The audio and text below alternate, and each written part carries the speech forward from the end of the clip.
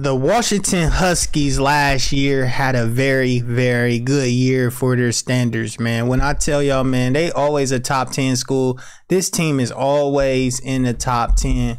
They had a quarterback last year that was very, very good. He had transferred in from Indiana and Michael Penix Jr. Listen, this guy Michael Penix Jr. been good ever since he played for Indiana. He used to have a lot of you know injuries in the past. He had a crazy you know injury history. He a left-handed man quarterback, but he is very good.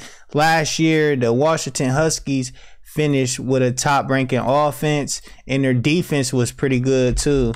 Like I was surprised. I didn't know the Washington Huskies football team, you know, was that underrated. But literally they a couple pieces away from really competing, you know, for, you know, the college football playoff spot. We didn't seen it before with teams like Cincinnati, with Luke Fickell, um, you know, teams like that, under the radar teams, even TCU that made it to the college football playoffs. Even if they lost, man, they still, you know, they still made a way. You feel me?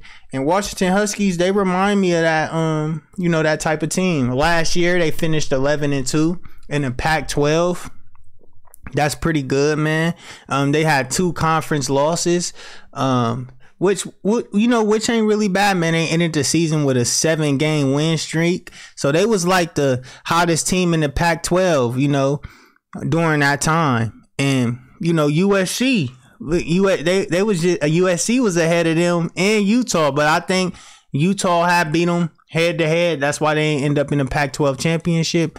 But man, they had the second best record in the Pac-12, and they were unstoppable at home. Nobody could beat them. They was seven and zero oh at home last year. They lost two times on the road. Um, so Washington has always been pretty good, man. But in this video, I got y'all top three must get recruits for the um class of 2024, man. Listen, Washington Huskies, they like to stretch the field, get their receivers the ball, you know, in space, love to go deep. So it's only right for me to start off this um recruiting video um saying with this prospect, man. His name is Mylan Graham, man. This guy is very, very good, man. I think he's like the fifth best receiver in the nation. Um, this guy, you know, could play both sides of the field. When I tell you, man, this guy's route running is stellar. He's really, really good. He's a really, really good wide receiver. He could be a wide receiver one, wide receiver two. He blocks really well, man. You could actually play, place him on a spot. He one of those guys you can move around. He will be a superstar, man. I'm telling y'all, once he get the proper development, this guy has the speed to compete with you know the big dogs, man, and to get y'all over the hump, man. So y'all have to get this wide receiver prospect, man. Washington Huskies, man. I would love to see you guys, you know, get to the top, man. Period, point blank, man.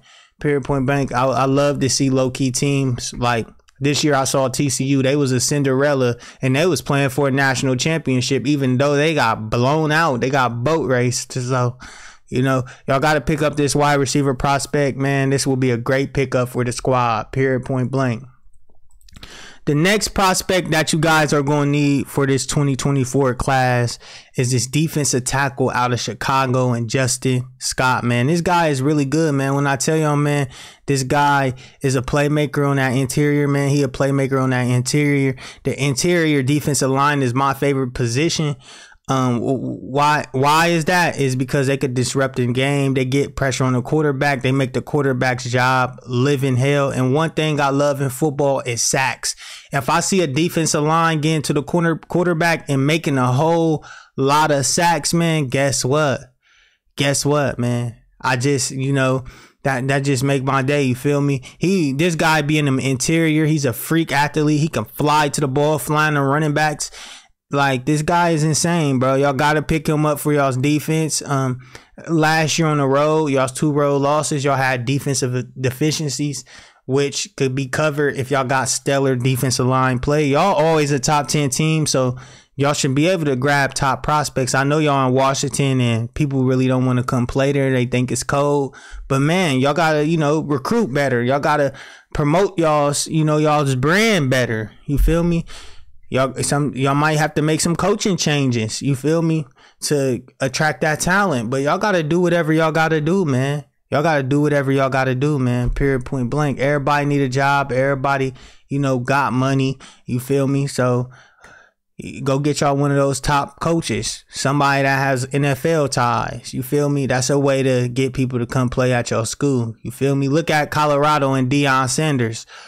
Boom, man. Go get y'all dominant force on that defensive line. Go get an NFL legend. And I guarantee you, a kid that's a blue chip will want to come play for that NFL legend because they will want to get developed just like they were developed. You feel me?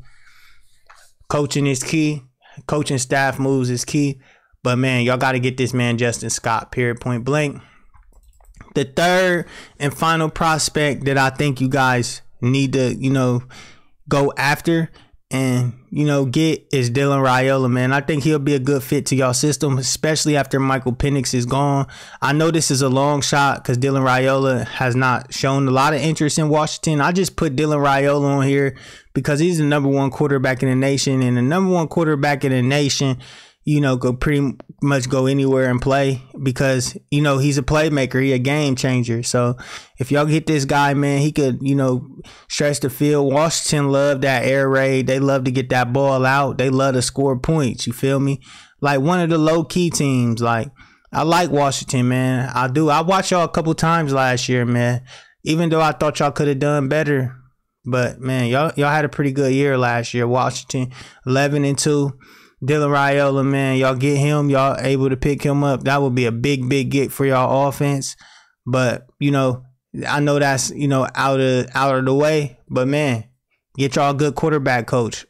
Hit up his dad. Offer his dad like a million. You feel me? A million dollars to come coach there, and I bet he come.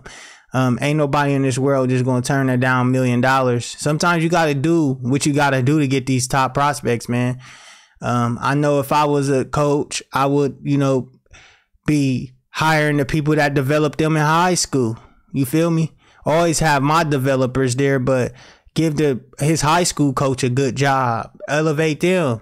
Do what you got to do to get that prospect on on campus. Period. Point blank. That's how you win national championships, and that's how you you know go to the next level. But anyways, man, it's your boy the Slimy Lou. Make sure you like up, subscribe up to the channel, hit that notification bell, man. Hey, I'm gonna continue to drop this dope, dope content for y'all, man.